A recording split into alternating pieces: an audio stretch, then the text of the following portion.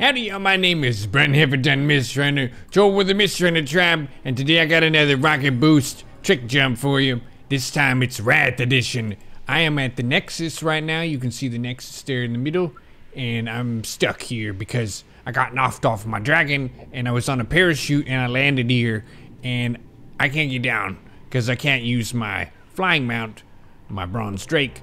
Uh, my only option is to um, go for it. So I've got my rocket boots here, bound to shift 2 rocket boots Xtreme. And I'm gonna use these here off this edge and see if I can survive.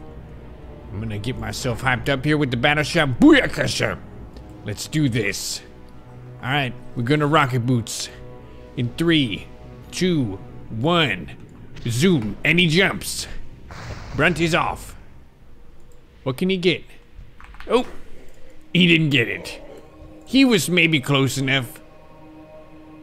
Well, sometimes it don't work out. But this was the rocket boost trick jump attempt. For me, Brun, be safe.